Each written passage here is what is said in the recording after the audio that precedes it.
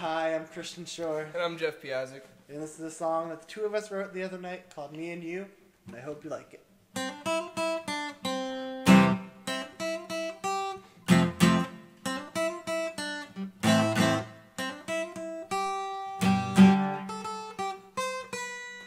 It's the way you sound when you're talking to me.